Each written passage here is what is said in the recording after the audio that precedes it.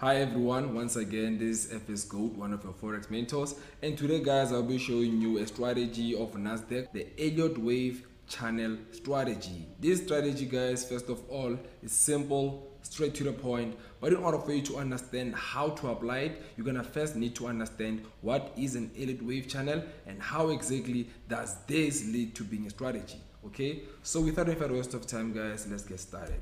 So firstly, let's start what is an Elliott wave strategy.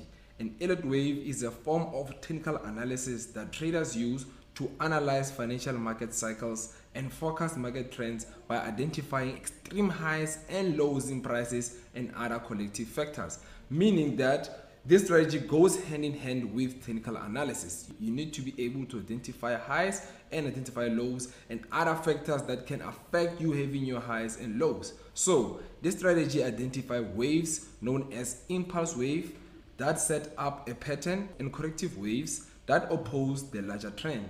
So the Elliott wave strategy moves in the direction of the main trend followed by the three waves in a correction meaning that in order to understand Elliott wave strategy you must know what is the main trend. So the main trend of Elliott wave strategy would be bullish meaning an uptrend. The main trend is an uptrend. Let's go to the next slide. So firstly we're gonna start with the impulse channel wave. So do you first remember how i told you guys about the impulse move? An impulse move in a buy trend represents a buy a correction would represent a sell so an impulse wave consists of five subwaves that make a net movement in the same direction as the trend of the next largest degree. This pattern is the most common motive wave and the easiest to spot in the market. Like all motive waves, it consists of five subwaves, three of them are also motive waves and there are corrective waves as well. So this is labeled as a 53535 structure. Now I know pretty much you don't understand what I mean by that. This would be our one impulse wave. Now let's label it. This would be one, this would be two, this would be three, this would be four, and this would be our five. So we call it a five, three, five, three, five structure. It consists of five movement, hence it's called a five, three, five, three, five structure. Our five represents impulse move, and our threes represents a correction. We have an impulse move a correction impulse move correction impulse move. So meaning it's an overall bullish movement. All of this is our impulse wave. It's an overall buy. Okay? So let's continue with the lesson. Secondly we have what? Corrective waves. What is a corrective wave corrective wave consists of three or a combination of three subwaves that make a net movement in a direction opposite to the trend of the next largest degree. Like all motive waves, its goal is to move the market in a direction of the trend. So basically this would be our corrective wave. So do you remember the first one? We have an impulse wave, one, two, three, four, five. Now our motive wave would be consist of three movements, of which would be one, two, 3. So let me show you the labels. We call this 1, 2, 3, 4, and 5, which is our impulse wave. Our correction wave would be A, B, and C. This is our A, this is our B, this is our C. It's only three movements. So this is a corrective wave. So as you can see right here, if we put a trend line like this, this makes it what? A crossover. It can act as a head and shoulder as you can see right there. So I'm going to explain this a little bit more further as we continue. I'm just showing you what is an Elliott wave. It's when we have an impulse wave and a corrective wave. Now let's continue with the lesson. I'll show you exactly how to apply this strategy. These waves help us to better understand the overall direction of Nasdaq as a whole. It's been a continuous bullish market now let me show you exactly how I'm saying it's been a continuous moving market. So this is Nasdaq, also known as Nasdaq Inc, Nas 100, US 30, different names as they stated for you before. So now let's go back and see whether it has been a bullish movement. It has always been a bullish, meaning it has corrective wave but overall it's been increasing it's been having a bullish momentum also having a slightly bit of corrections but overall it's been going up as you can see right here. That is why the impulse wave represents a buy. The overall direction of a Nasdaq it's a bullish. It's been going for buys overall, having slightly small retracement. Okay, so now let's continue with the lesson. So, secondly, we have what we call a consolidation channel.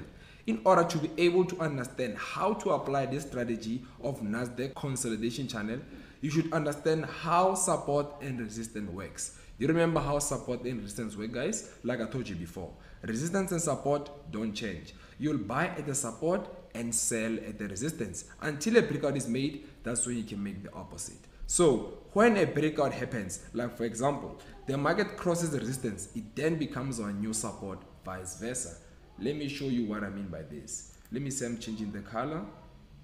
So let's say we have a line here, and then this is our resistance. This will be our resistance, meaning we sell at the resistance. But the moment this line crosses over, this very same line that used to be a resistance would now become a support, meaning we would buy when the market comes to retest at that point.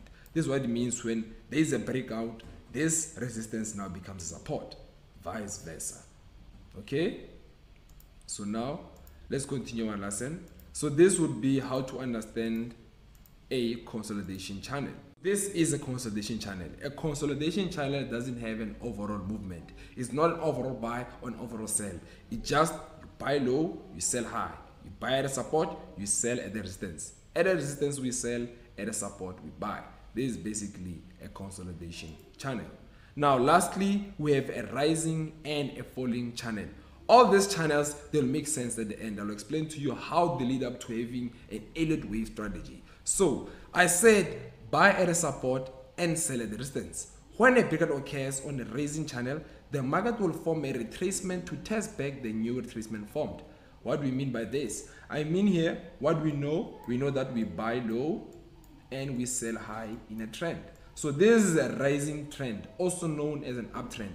And this here would be a falling trend, also known as what? A downtrend. So meaning this here would be our trend line also known as what? An uptrending support. So the moment this support structure gets crossed it then becomes a resistance. So the market has to retest that resistance and this after this retest that's when it's gonna fall. Because what? We sell at the resistance we buy at the support. So this was our support. But the moment it crosses over and comes to test it then becomes our resistance and opening opportunity for us to what? To sell so this is basically an, a thorough understanding of what an Elliott wave strategy is. So now let me show you what an Elliott wave strategy is. An Elliott wave has an impulse wave and a corrective wave. And how does that exactly lead to strategy? What is the main strategy that I'm trying to show by this? After we have our impulse wave, we will have our corrective wave.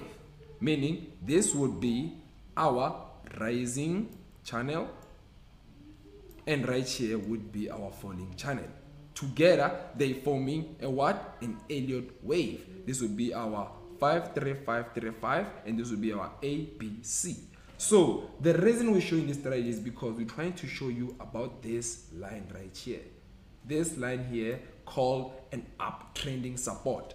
Meaning the moment the market crosses over that support, it then comes to retest it, making us have an entry of selling. Let me search NAS 100. NAS 100 is also named as, as NASDAQ. It's more clearer like this. Firstly, we would have our what? Our impulse wave. And secondly, we have what? Our corrective wave. So now, how to know when to enter a sell? The moment this market crossed over here, giving us a retest. Gives us a retest at this point here. At this point here that's when when this crosses over comes back and retest it can either be a double top or one entry but that's when we should look for sellers. So as long as the market is above this line here as long as it's above we are at buying opportunities. But the moment it breaks over comes to retest we are now running into selling opportunity. And that will be all from me guys. FX Goats signing out.